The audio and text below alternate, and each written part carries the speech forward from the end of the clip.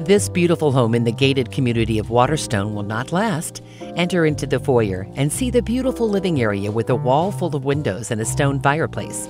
The kitchen and formal dining area are open to the living area. You can sit at the breakfast table and look out to the large backyard. Don't wait. Schedule a tour with Katrina Driscoll before it's too late.